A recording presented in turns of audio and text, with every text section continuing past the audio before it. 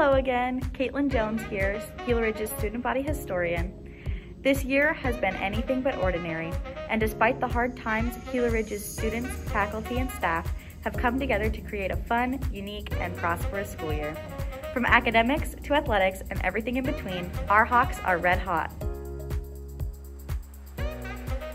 Even through quarantine and social distancing, Gila Ridge activities showed up and showed out with lots of awesome events and Hawk Pride.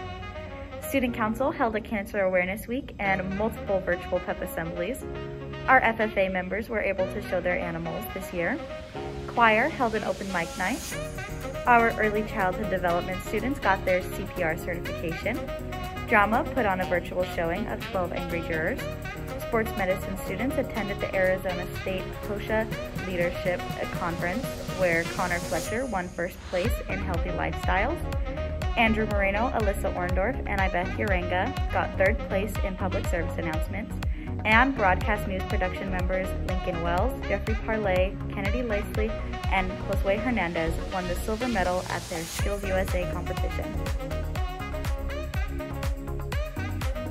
Gila Ridge Athletics had an excellent year with some solid wins and college recruitments. To name a few, track and field won city champs, girls tennis won the section and qualified for team state in tennis, and Gila Ridge cheer won the AIA state championship. But mankind won't be destroyed. Students are going to change the world. Just look at all of our achievements. Jasmine Velasco Tavar received the Dorrance Scholarship, and senior David Zaragoza was the Flinn finalist and Foothills Rotary District 5500 winner. And he is also our class of 2021 valedictorian. As of right now, Gila Ridge seniors have made a total of $4,489,470 in scholarship money. Our students weren't the only ones putting in the work. Gila Ridge staff have been achieving great things as well.